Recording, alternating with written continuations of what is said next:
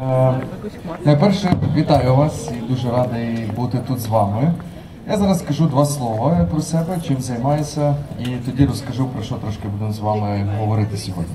Мене звати Роман, я родом з Криму, з Сімферополя. Підніміть руку, хто коли-небудь був в Криму.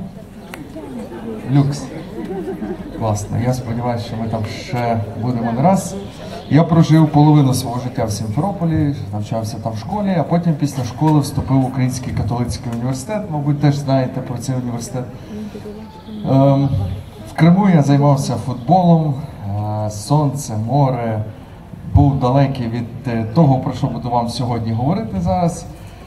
І точно далекий був від релігії, але якось так сталося, що я вступив в УКУ на філософський богословський факультет. Виявляєте собі, займатися футболом в Криму, де 9 місяців сонця, де так багато різних спокус, і вдруг вступити на богослов'я. Завершив УКУ і далі поїхав на навчання вже в Нідерланди, де там продовжував свої студії. Зараз я працюю в трьох напрямках. Перший напрям це я і директор Інституту релігії суспільства УКУ. Можливо, ви чули, ми робимо багато е, проєктів пов'язаних з Кримом, кримсько-татарська мова, схід, вивчення сходу, вивчення релігії. Якщо ви про це чули, то знайте, що це робили ми. Друга річ це, ну і відповідно ще до першої, то це університет, праця з студентами, студенти і ще раз студенти. Друга річ це є Українська академія лідерства. Можливо, чули, це є неформальна освіта. Е, Я вже там 7 років викладаю, і от після нашої зустрічі бігом влечу туди на подію до них. І в свій час я ще застав осередки в Маріуполі, в Харкові, в Полтаві, Чернівцях, Києві, Львові і так далі. Тобто розумієте, що зараз є осередок у Львові і в Ужгороді, наступного року буде ще в одному місті, але поки це не афішую. Але колись це були різні осередки, тому я так поподорожував по різних містах. Е, І третя частина вже більш професійна це є бізнес-школи різні. Києво-Могилянська, Львівська, де я викладаю свій основний фах. А мій основний фах, про який сьогодні говорити не буду, це арабський світ, іслам, Коран, оці бородаті чоловіки, замотані жінки. Все, що стосується цієї релігії, цього далекого сходу. Я люблю завжди цей приклад. Я кращого не знайшов, тому його завжди повторюю. Е, Як зробити так, щоб араб придбав саме ту пляшку води, яку вам потрібно? Ось тим я займаюся нашими підприємцями. Як, зманіпу... Як допомогти арабу прийняти правильну думку і вибрати саме те, що вам потрібно. Тобто війти в його, я називаю це парадигму мислення, центр прийняття рішень. І сьогодні про цей центр прийняття рішень, тільки вже наш з вами, я би хотів е, поговорити. Скажіть, чи чути мене добре? Добре, бо воно мені фонить, то окей.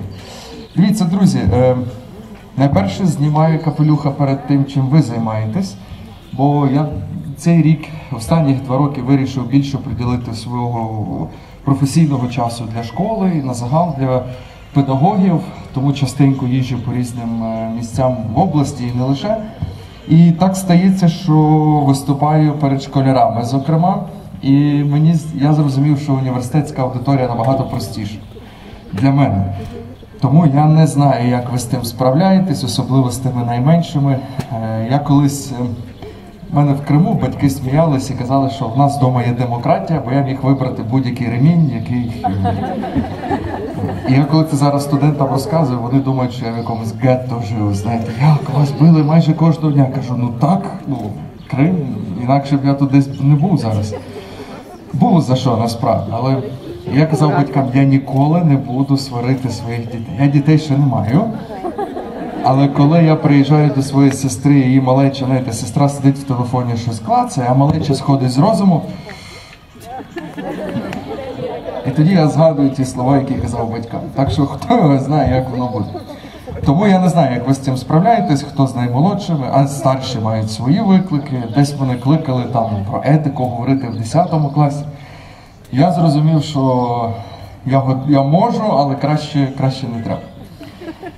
Отаке. Тому я схиляю капелюха і, знаєте, почну з цієї такої банальної фрази, яку сказав, здається, Бісмарку, її там приписують, е, де не ступає, ви її всі чули 100%, де не ступає нога вчителя і священника, там ступає нога військового.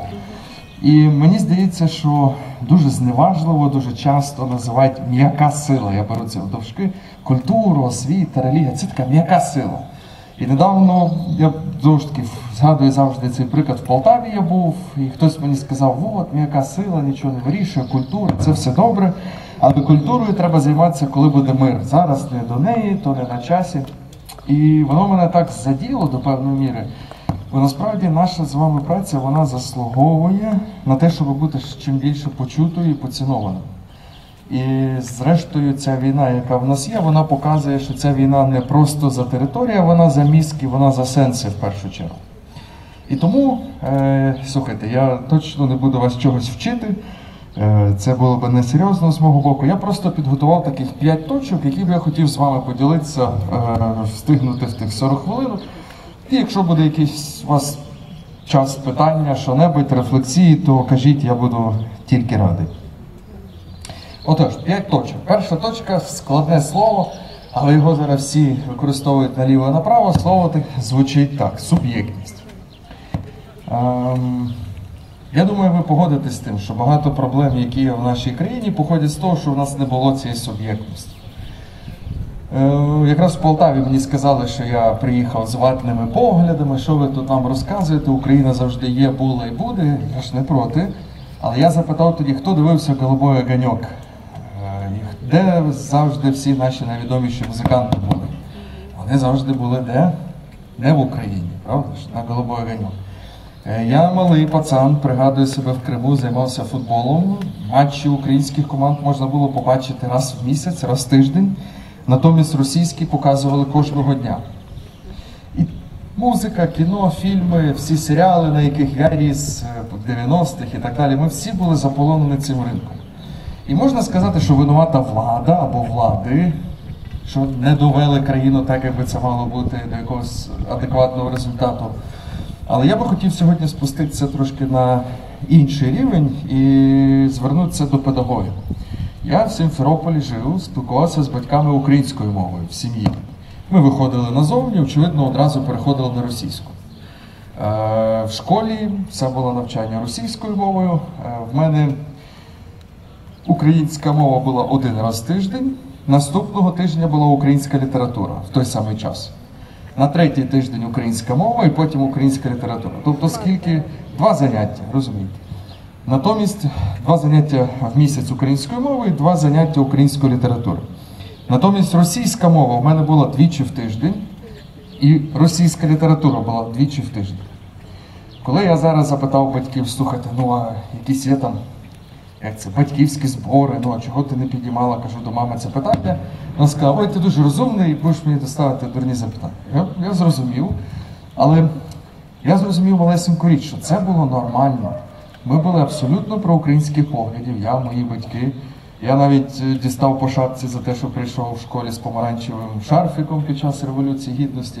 І таких е, революції помаранчевої. І таких речей було багато. Але воно якось приймалося, ну так ніби це має бути в тому регіоні, де я жив. Чому? Бо я віддав свою суб'єктність батькам, сказав, слухайте, ви дали мене в цю школу, ви вирішуєте, най буде. Батьки віддали свою суб'єктність класному керівнику. Класний керівник віддав суб'єктність, хто там, завучу, не знаю. Далі директор школи, директор школи віддав Совет міністрів, це називалось в Криму. Грубо кажучи, облраді, облрада міністру, міністр президенту, президент колом впливу, які були поза Україною і так далі. Вже вся починається проблемка з одного слова суб'єктність.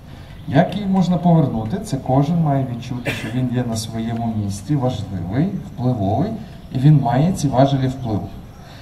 Е, приклад американців. Що говорять американці на виборах? Любо, е, твій голос творить історію. Що кажуть в нас? Та що там іти на ті вибори? Там вже все так ясно. А, там вже все проголосовано, що я буду йти туди? Про що це свідчить? Я не маю суб'єктності, мій голос нічого не вирішує. Я спеціально пошукав рекламні агітаційні е, такі ролики, які були в Штатах перед виборами, показують фермера такого техаського типового американця в капелюсі, штат Техас, там Даллас. І він розповідає, що я от голосую, я вірю, мій голос творить історію. Бо він відчуває, хай це пропаганда, добра, але він відчуває свою суб'єктність, він відчуває те, що він може на щось впливати. Я ще до цього пункту повернусь. Другий пункт, який я хочу вам е, запропонувати, е, я його називаю Е, ось так. Може ви погодитесь, можете ні, але я переконаний в цьому на 100%. Е, У нас тема називається розмова про цінності, бо як дати собі спокій. Перший крок до того, як дати собі спокій, ви ніколи не даєте знання, ви даєте інформацію. А чи стає вона знаннями, залежить не тільки від вас. Ви приходите в клас, говорите одну і ту саму інформацію для 30 людей. Як казала моя викладачка, в одну ухо влетіло, в друге вилетіло. Але а є студенти, які чи школярі, які засвоюють матеріал. Тобто ви одночасно промовляєте інформацію до багатьох людей, комусь вона сучасною молодіжним терміном заходить, комусь ні. Отже, чи стане та інформація, яку ви даєте комусь знаннями, залежить не лише від вас, а залежить від того, кому ви його даєте. Тому якщо учень захоче, чи школяр захоче, щоб ця інформація перетворилася на знання, то тоді він буде з вами співдіяти. Тому дайте собі спокій, ви не приходите нікого навчити. Е, Не, ну, вибачте, що так скажу, але коли я займав, коли я був студентом, з'явилася Вікіпедія, і мої викладачі казали, все, наука померла, тепер всі статті здають з Вікіпедії і так далі. і так далі. Наука померла. Е, наука продовжилась, тепер з'явився чат, який ви всі знаєте. І цей чат набагато розумніший за мене. І коли я викладаю студентам з курси свої, ну нема сенсу говорити про не знаю, банальні речі. Вони можуть це без мене загуглити, без мене там запитати. Отже, мені здається, час, коли студенти мали запит на викладача, він потрохи зникає. Вони зараз мають запит в першу чергу на людину. Джерело знань, джерело інформації вони можуть знайти без нас. Але якщо до них приходить людина, яка, знаєте, запалена своєї справи, говорить про це з посмішкою, творить якісь додаткові заняття, творить додаткові презентації, кудись виходить, щось творить, вони відчувають цей вогонь. Тоді ви їх запалюєте до того, щоб вони з вами співпрацювали, і ця інформація перетворювалася на знання. Я згадав, як Януковича, знаєте, ці. Всі співпадіння випадкові.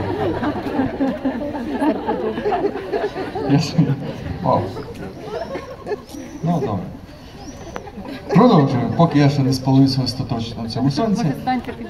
Е, все добре, все. Отже, дивіться, друзі, ще раз. Е,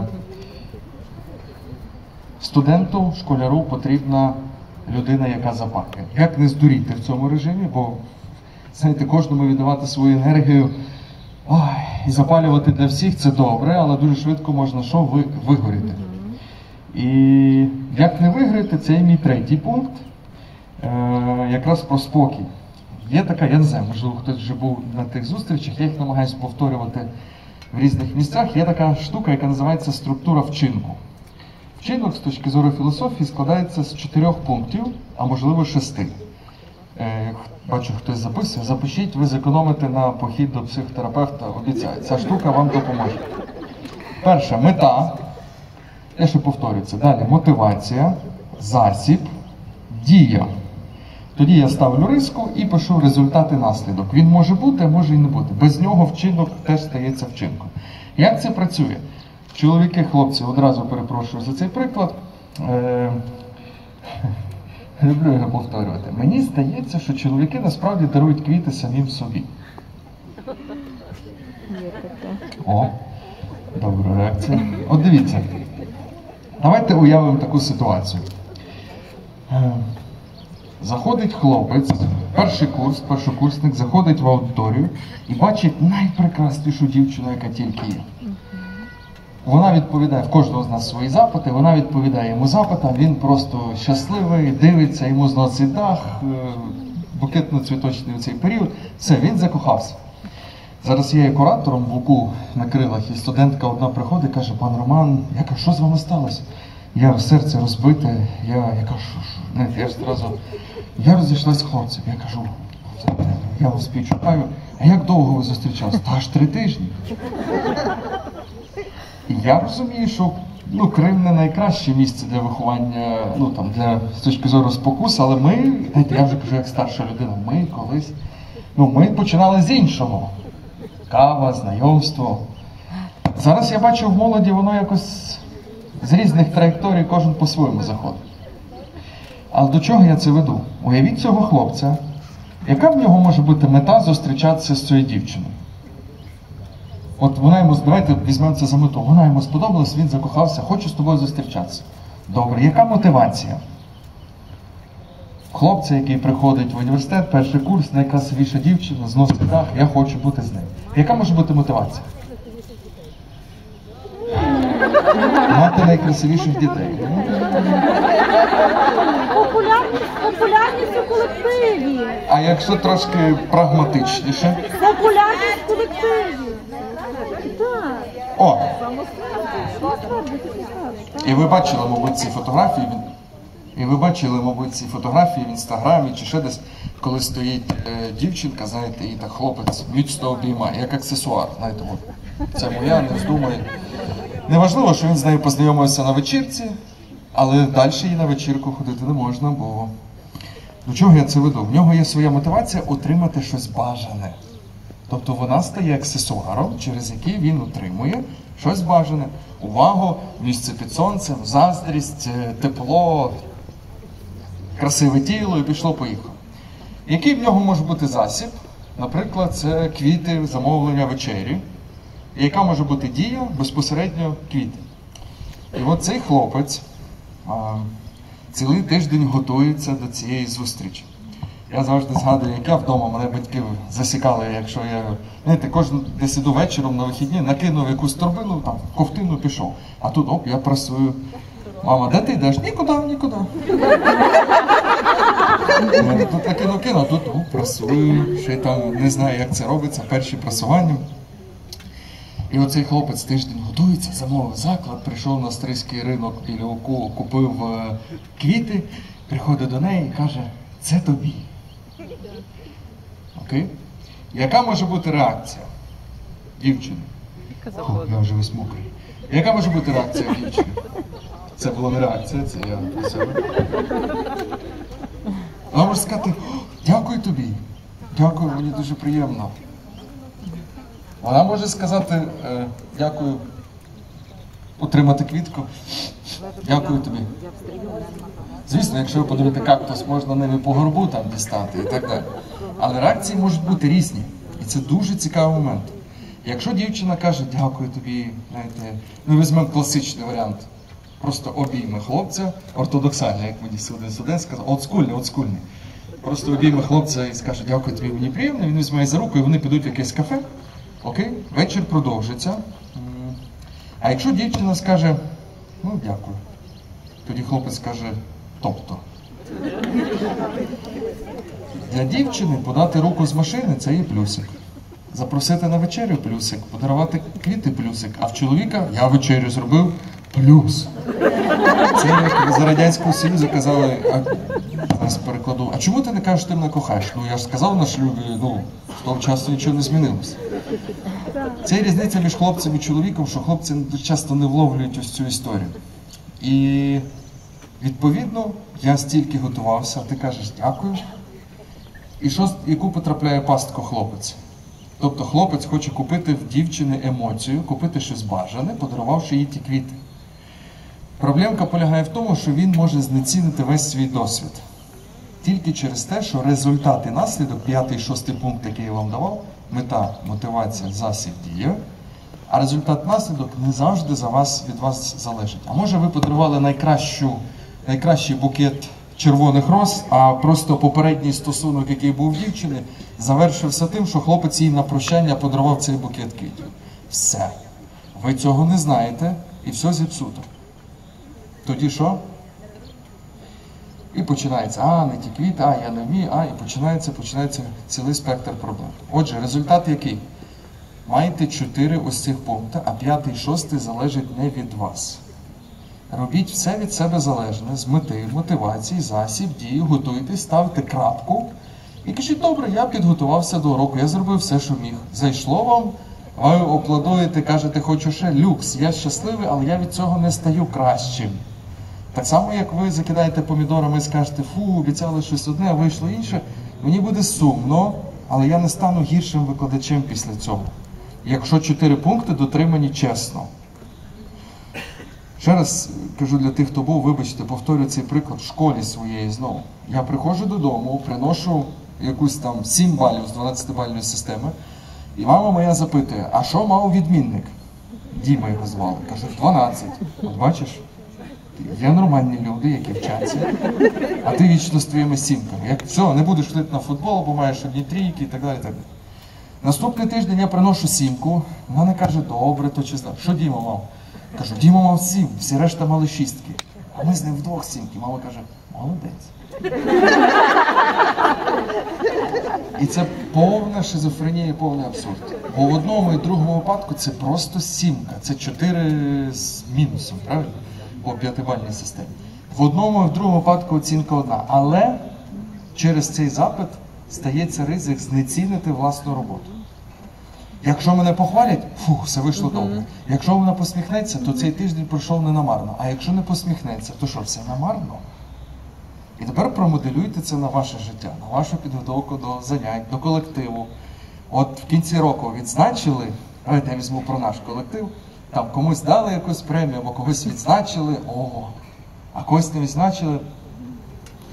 Ну там, мабуть, я цього року менше працював, або це ж все купа суб'єктивних факторів. Ми не знаємо, від чого то залежить. Оцей результат і наслідок. Тому якщо ви перших чотири пункти робите чесно, на совість і ви самі з собою задоволені, ви будете завжди щасливі і наповнені. Бо результат і наслідок штука, яка може бути, а може і не бути. Четвертий пункт. Часу є? Четвертий пункт. Е, ну, щоб не зійти з розуму всі ці історії, яка зараз робиться, ви мусите мати вищу мету, бо я називаю це якусь стратегічну ідею. Це, знаєте, дуже є така кольорова, або як кажуть молодь, ванільна історія, але я працюю з відбірними аудиторіями, чи Українська академія лідерства, чи бізнес-школи, чи УКУ. Це ті аудиторії, які проходять хороший відбір. Я так якби пощастило працюю з такою одною з таких добротних аудиторій молодих. І оці суперкласні, успішні, активні молоді люди, я їх запитую. Одне питання. Кажу, народ, а для чого ви зранку прокинулися? Кажу, одразу не спішіть, о, знову ті питання, мрія, чому сенс життя, що таке істина, зараз до Пилата дійдемо і так далі. Не про це мова. Я ставлю просте практичне так. Кажу, народ, нафіга ви зранку піднялися? Я не чув ще жодної адекватної відповіді. Супер крутої, важливої мови. Ну, хтось мені каже, виконувати свої обов'язки. Кажу, а як називається те, що ви, коли ви процес, коли ви просто виконуєте обов'язки, більшість яких не любите? Це ж катастрофа. Ненавидіти понеділок і мріяти про суботу чи про п'ятницю вечір. Уявляєте собі потім людинка, не знаю наскільки ви релігійні, але уявляєте собі потім людинка після смерті потрапляє на зустріч з творцем, і він їй каже, розкажи, як твоє життя, розкажи, що робив. Він такий, ну, з поділка по п'ятницю. Мінус, робота, скучно, скукотіща. Бог такий, фух, 40 років життя викинув. Добре. Субота, ой, тут нема що тобі розказати, Боже, субота було все таке, що. А неділя що? Та неділя вже що, з вечора готувався на роботу. Ага. Ясно, дуже цікаве життя. Питання, для чого ми з вами зранку прокинулись сьогодні, ще можна знайти. Для чого це все? Але я вас закликаю поставити питання трошки глибше. Для чого питання ставиться на питання стратегії? Будь-яку ви маєте, кожен з вас має стратегію. Для чого я тут? Для чого я є педагог? Для чого я хочу перемоги України? Всі ті речі можемо дати відповідь на запитання. Стратегічна ідея, вона йде трошки ширше. Вона ставить питання, щоб що? От я хочу грошей. Для чого купити дві-три машини? Ну, наприклад, окей, щоб що? Я хочу отримати владу. Для чого? Щоб мати повноваження, творити історію і так далі. Окей, щоб що? Тобі треба влада, чи тобі треба місце, щоб тебе ніхто не ображав, ти був захищений? Мені треба найкрасивішу дівчину. Я хочу мати красивих дітей. Тобто, чи в дітях красивих справа, чи в тому, що потім казали, о, які в нього діти. Ну, умовно, я просто. Кожен з нас має мати якусь свою визначену мету. Цього вчить зрештою Біблія. Раз не знаю, наскільки ви релігійні, але вміння інвестувати. Є така ж історія, притча про таланти. Може, ви чули? Де одному дали 100 гривень, другому 300, і третьому 500.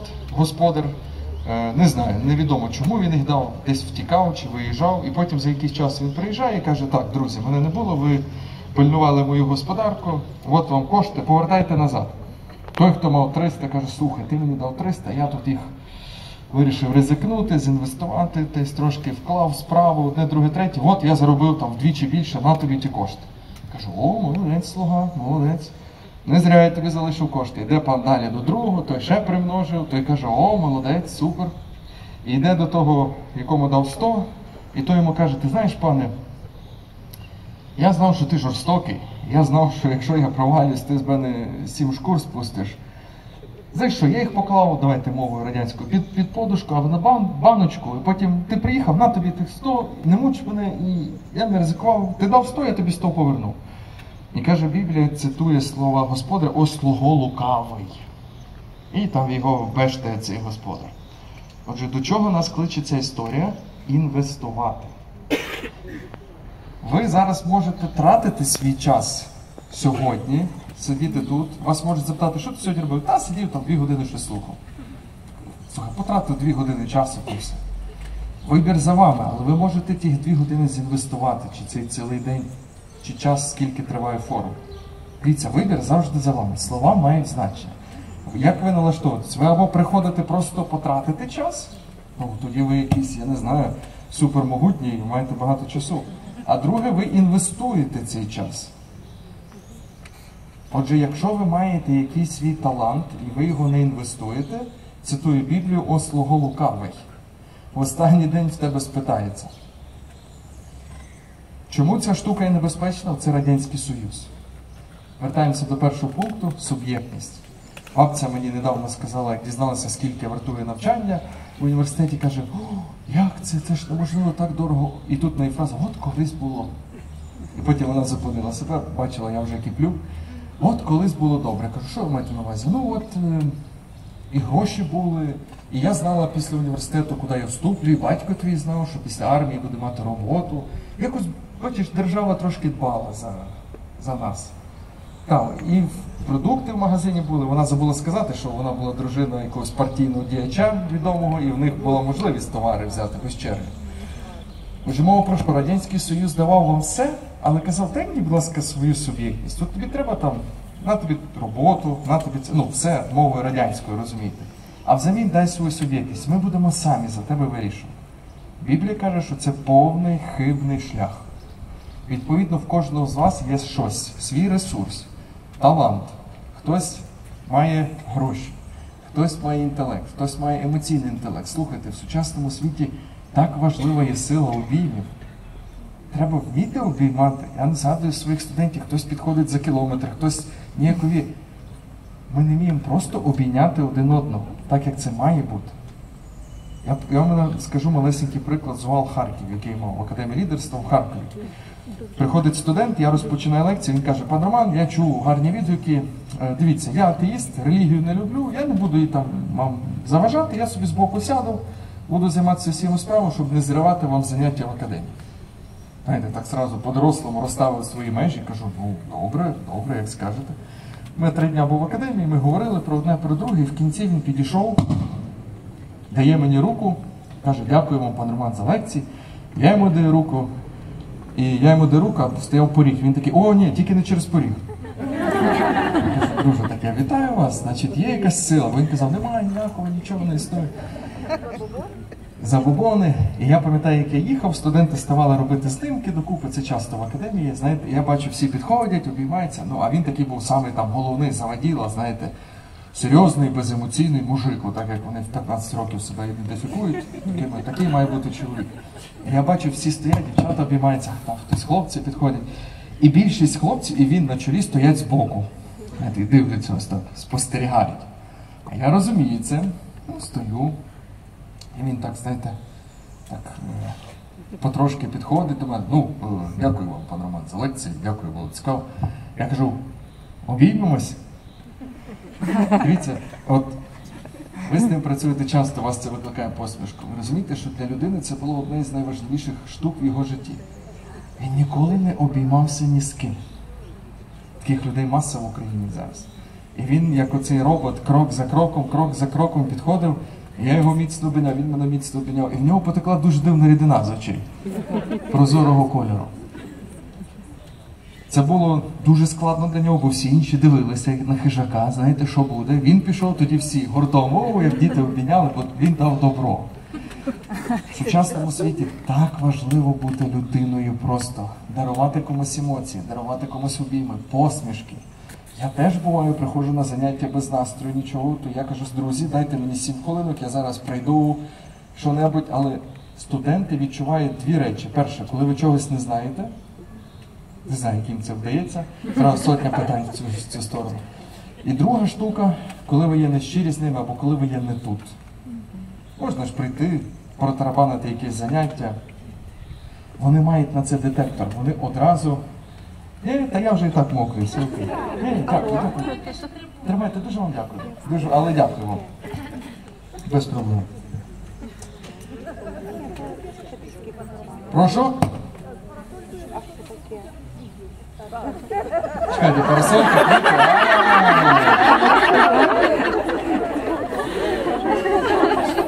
Клас, дякую вам. Це дуже класно.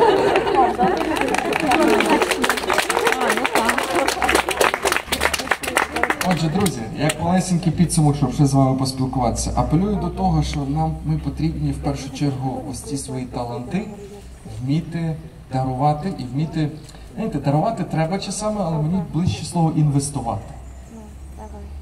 Я, вибачте, я вас дуже люблю, але я не приїхав просто так проговорити 40 хвилин з вами. Ну, мій час дорогий, ваш час дорогий. Їхати зі Львова і бігти назад, щоб встигнути на іншу подію, просто побути з людьми, яких я не хочу бачити. Воно мені не цікаво, я ненавижу ту роботу, я думаю про якісь проблеми, які в мене вдома. Е, ну, я не знаю, це тоді якийсь навіть не альтруїзм, це такий ідіотизм виходить. Але якщо ви їдете і кажете, ось ця година часу, я буду займатися тим, що люблю, тим, від чого я, тим, чим я горю, тим, чим я живу, ну хіба не в цьому моменті ви чуєте себе максимально щасливими?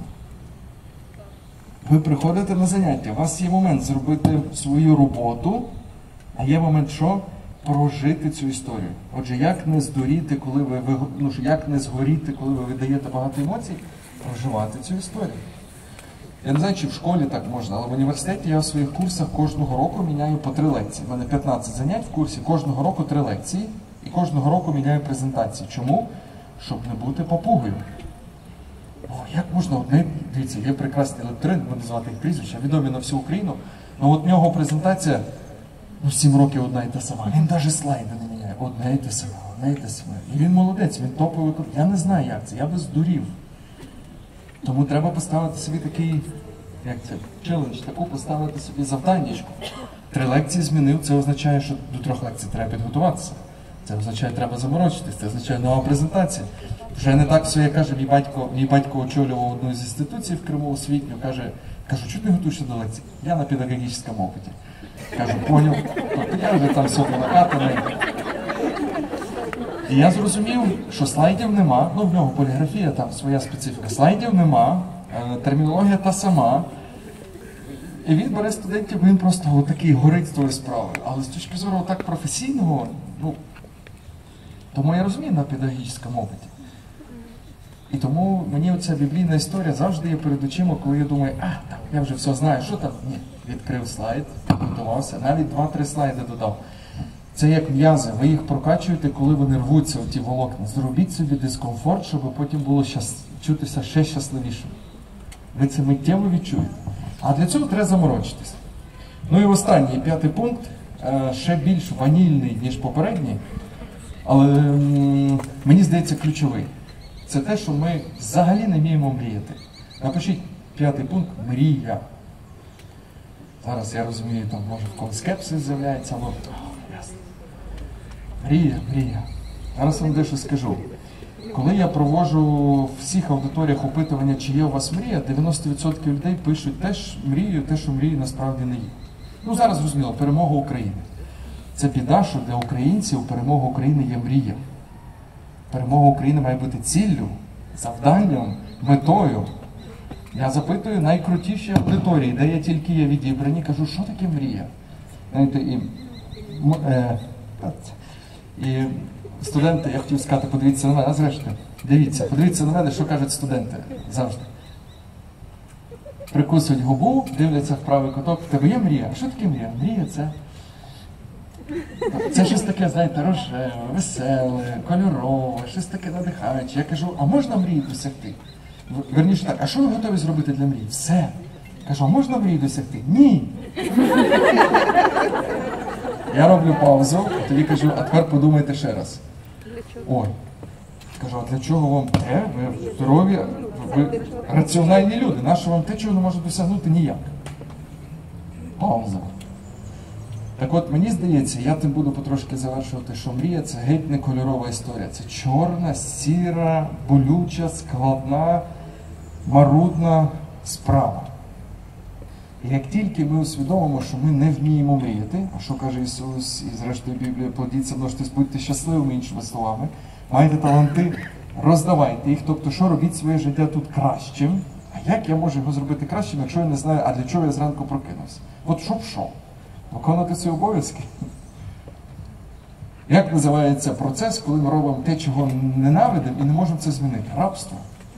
І потім, вибачте, ще один за християнський приклад. А потім ми приходимо до Творця, знаєте, з прив'язаними руками, з рабськими. І він каже, розкажи про свою движуху, розкажи, як, як в тебе було. А ми такі, ну, я десь там не наважився, там не захотів. Він запитає, в який момент в тебе з'явилися ті рабські кайдани.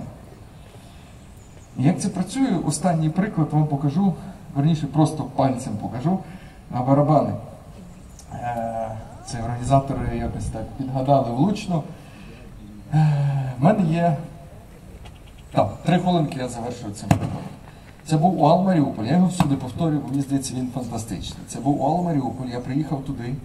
І студент каже: пан Роман, ну ви там нам класно про мрії розказали, то все, а у вас є мрія? І я такий знов то позов.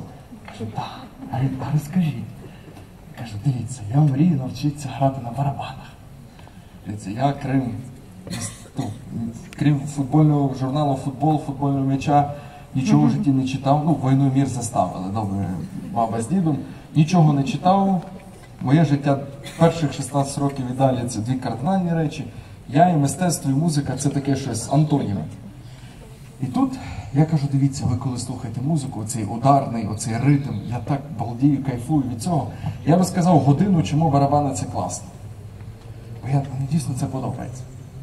Проходить кілька років, він приїжджає в УКУ і каже, пан Роман, ну ви тут нас експерт по мріях, ну розкажіть, де брати квитки, коли йти на ваш сольник, ну коли вже ця двіжуха? Ми вже ж переграли на всіх. Як думаєте, скільки з того моменту в Маріуполі до того моменту, коли я побачив, я ходив на заняття з барабаном? Ноль. Жодного. І тут я ввожу таку штуку, яку хочете запишіть, я називається поличковою мрією. Хто знає з радянського часу сервант. Оце воно. Ми будемо пити з Бог чого, але сервант рухати раз в рік. Ще є така рибка там, знаєте. Для тих, хто менше молодших розуміє, що таке сервант і Радянський Союз, футболка. Один з футболістів е, збірної України, мій однофамілець, подарував мені футболку з підписами всіх гравців. Мій брат футболіст, він там дістав, півроку діставали, футболка. Приходить додому. Я в першу ніч спав в ній, ну це ясно. І потім. А... Прошу? А, окей, то я вже завершу. На 10 хвилин. Ага. Добре. У нас різні години. Добре. Ще буде нас час на запитання. І історія полягає в тому, що я навчався за кордоном, я жив в Києві, я жив у Львові після Криму. Я завжди мав цю футболку з собою. Як думаєте, скільки разів я її вдягнув десь на вихід? Жодного. Але я завжди її мав. І коли я кажу, а, це там баба з дідом, совок, радянщина, сервант, дивлюсь на футболку, розумію, окей, це не радянщина, але все те саме. Оце є поличкова мрія. І в цей момент, коли він мені сказав, а що ваші барабани? Мене як торкнуло, знаєте, як кожного стоматолога є проблемні зуби, так само і людина, яка говорить про мрію. Я собі подумав, окей, а в мене є мрія. І знаєте що?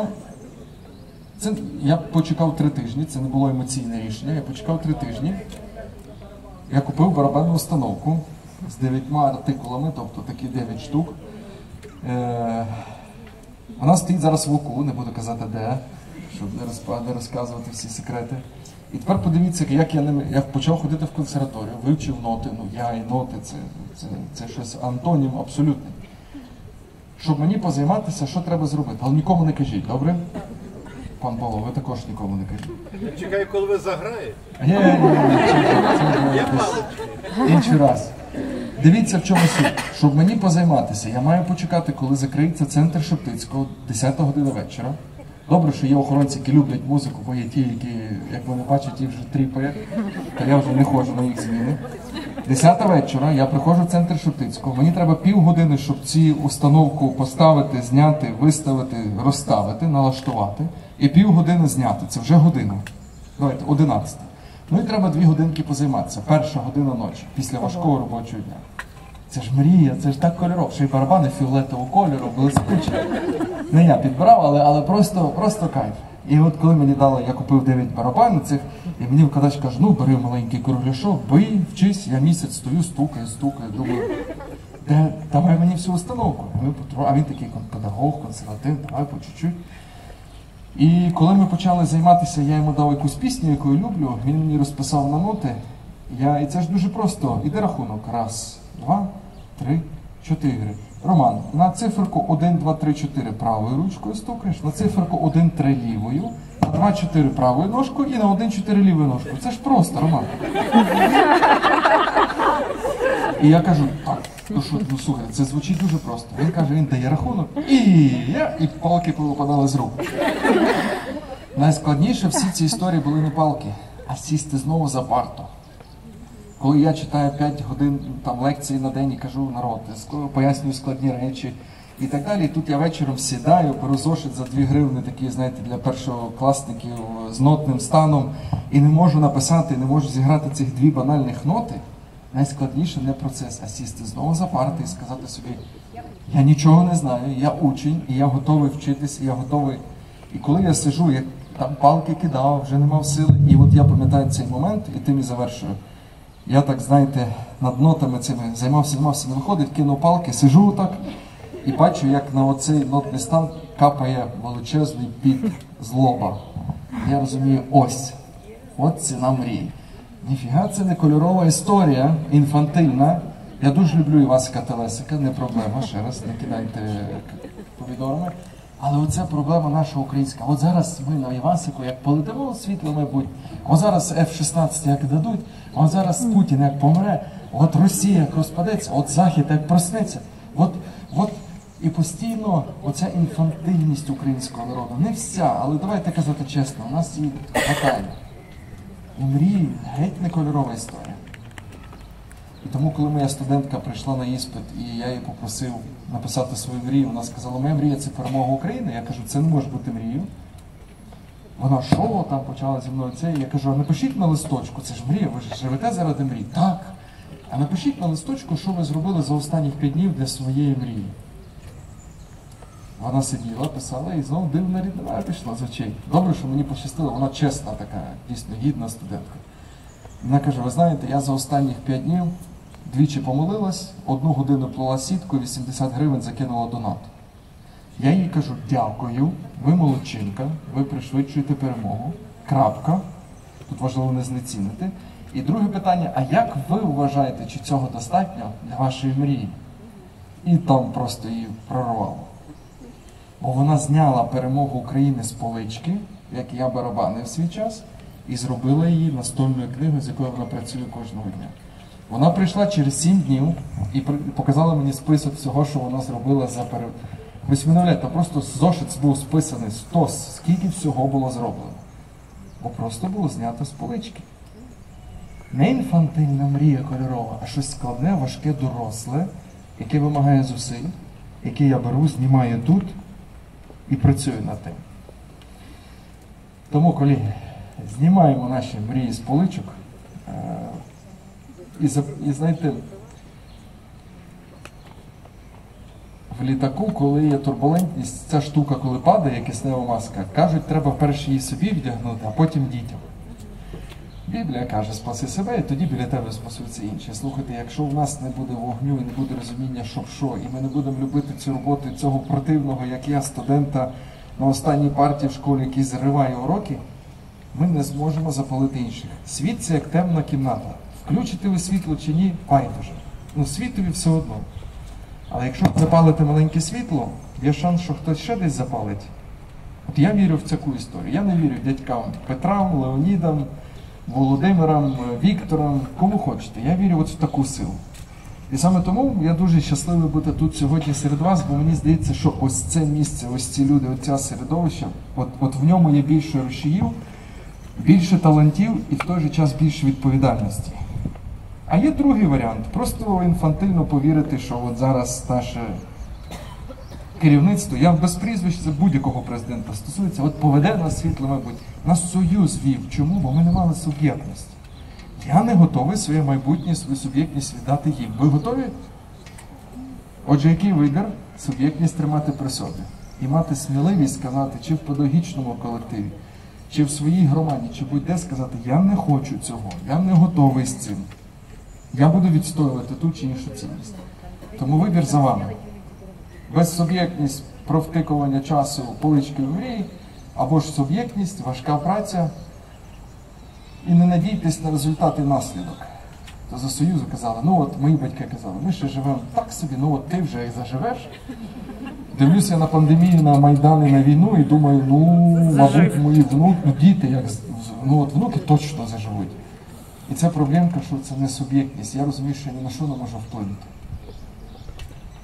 На нас лежить велика відповідальність і, зрештою, вибір за вами. Або просто бути виконувати свою роботу, або робити чотири пункти, мета, мотивація, засіб дії від себе максимально залежить. Результат наслідок слухати. Трошки треба співдіяти з творцем, воно буває по-різному.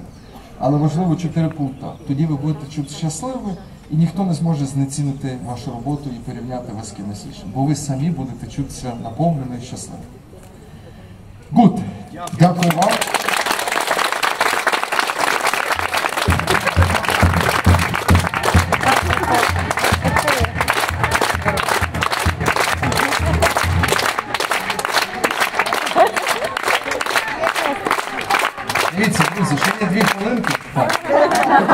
Які професійно займаються. Що нашому... Тут ще є одна хвилинка. Якщо в когось є якісь запитання чи якась історія, можете поставити. Якщо ні, то ні. Просто я завжди даю цю нагоду, бо Мрія побачити, чекайте на барабан.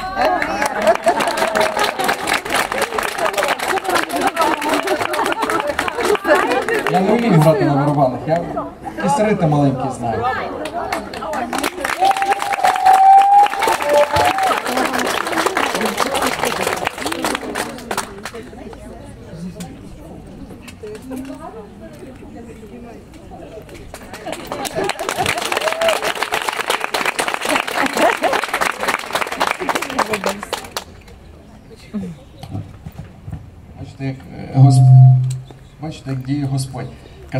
результат наслідок не важливо, просто живіть у вірі.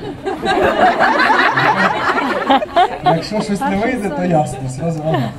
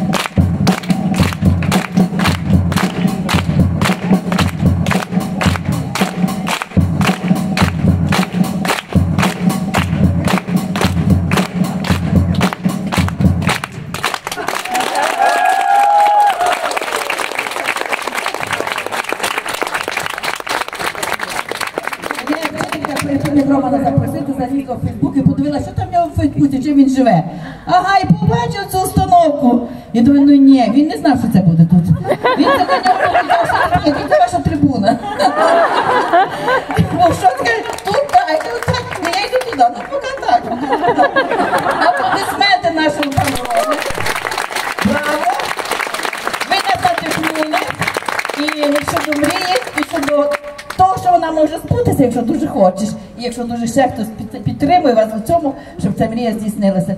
Ми вам дякуємо.